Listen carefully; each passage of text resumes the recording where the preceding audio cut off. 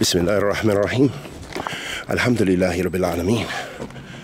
وصلى الله وسلم على نبينا محمد وعلى آله وصحبه وسلم. أما بعد حبت في الله. Continuing on our study of the كلمة تفسير كلمة التوحيد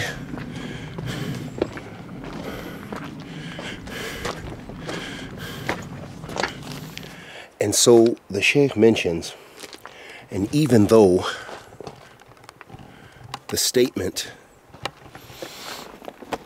of La ilaha illallah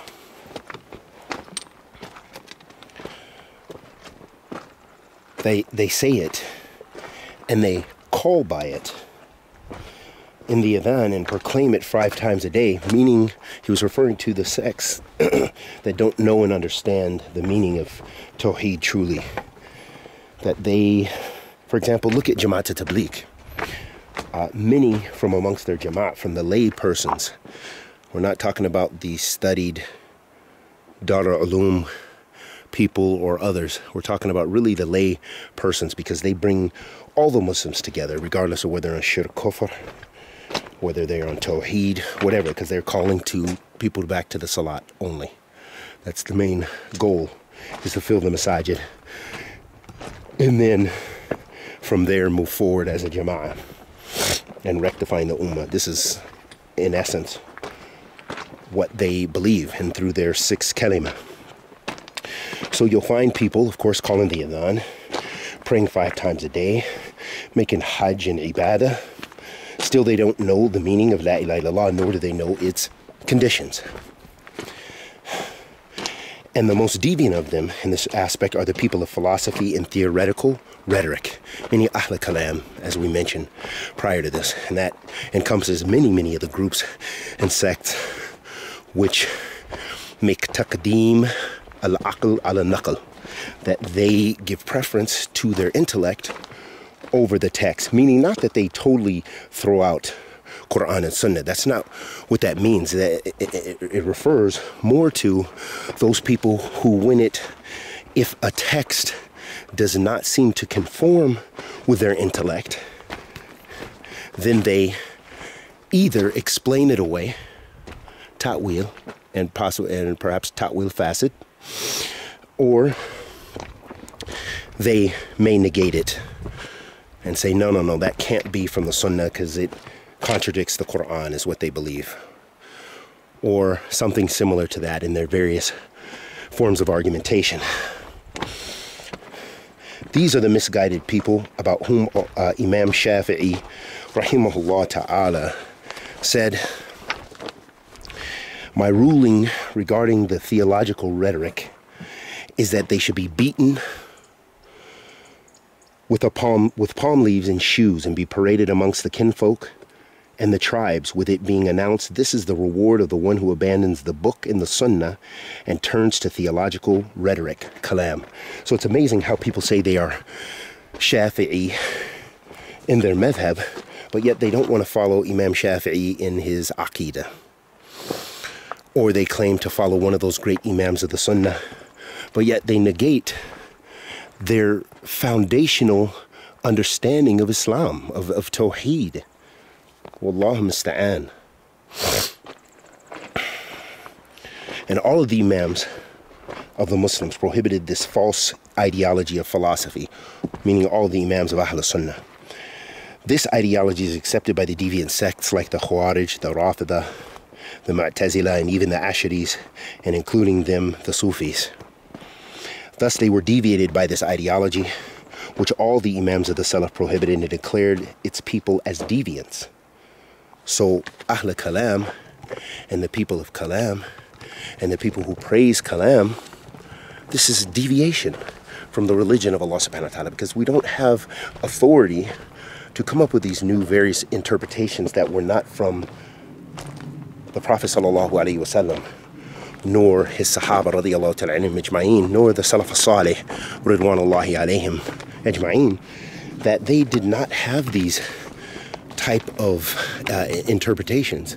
They did not deviate with regards to these concepts, but yet they accepted the nusus as they were. The book of Allah and the sunnah of the Messenger of Allah sallallahu alayhi wasallam without ta'rif, uh, without, without uh, ta'til, wala ta'wil, wala tahrif, and the various forms of distorting those divine names and attributes of Allah subhanahu wa ta'ala and understanding the religion of Allah. And Imam Shafi'i rahimahullah ta'ala said that a person is put to trial with everything that Allah has forbidden besides shirk is better than that he looks at kalam, theological uh, rhetoric. So look at this. Look at how the Imams of the Sunnah Imams like Imam Shafi'i felt about kalam. But you, you have people who claim to be Malikiya and Shafi'iyya and followers of the Hanabila madhab and followers of Imam Abu Hanifa who praise kalam, who study it in their institute. Look at the, the Darul Uloom, look at their curriculum. I challenge you, look at their curriculum. You can find it on the internet. It's philosophy. They spend a lot of time studying rhetoric and philosophy, and, and you don't have anything really called creed. They don't really study Aqidah. Their Aqidah is based on Kalam. Subhanallah. Talk about Dalal Mubin. So that shows us, Habitifillah, the importance of the Salafi da'wah, the da'wah to Ahl Sunnah, the madhab of the Salaf, and adhering to Tawheed and the concepts of Tawheed and the concepts of Creed and the Dawah Allah subhanahu wa ta'ala based on the Book of Allah and the Sunnah of the Messenger of Allah sallallahu alayhi wa sallam and the Salaf Salih meaning the Sahaba radiallahu ta'ala ajma'in at the head of them. And that that path is ahkam wa aslam. That path that way is more has more fiqh, more understanding, and is safer. It's the safest path. And it's a path which is based in its origin on literalism. That doesn't mean everything, we go everything literal in the text, but that's what we look as the origin. That the asl of looking at the text is that we look at the literal meaning, unless there's other evidence or some, uh, to, to illustrate from us, to illustrate for us that the kalam is is not literal or has uh, another interpretation. And we look to the madhab of the Salaf for that. This is how they understood the text. And that differs with Ahl Kalam.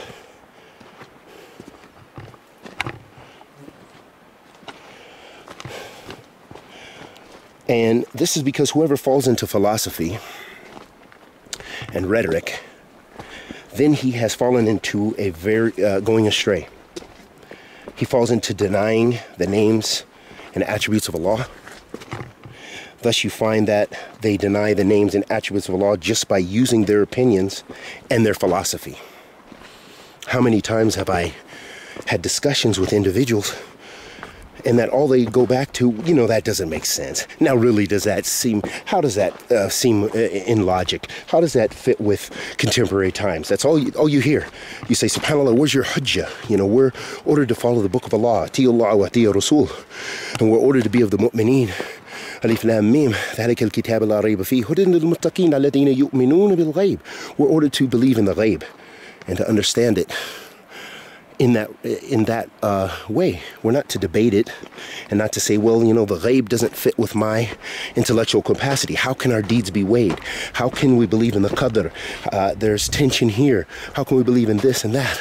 And that's all from philosophy. It's all from opinions. It's all from ra. Wallah musta'an.